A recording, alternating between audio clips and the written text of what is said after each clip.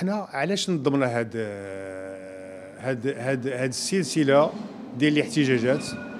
فهاد السلسلة ديال الاحتجاجات واللي من ضمنها كما قلت هذه الوقفة وهذه الندوة الصحفية ديال هذا المساء فهي جات كالتعبير على استنكارنا الشديد على مقتضيات المادة 8 اللي هي جات في مشروع قانون المالية لسنة 2023 اللي هو معروض حاليا على البرلمان لمناقشته.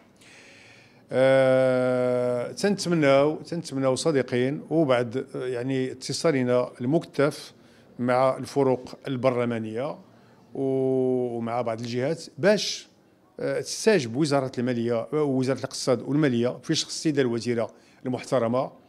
وكذلك في شخص السيد آه، الوزير آه، المنتدب الموكل بالميزانية السيد فوزي القجع المحترم.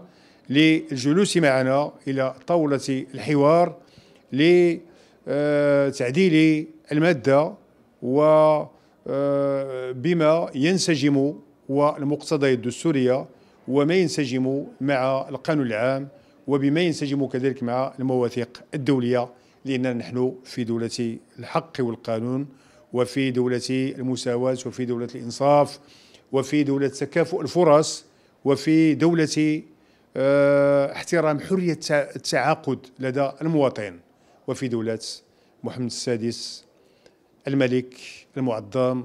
نصره الله وايده وحفظه.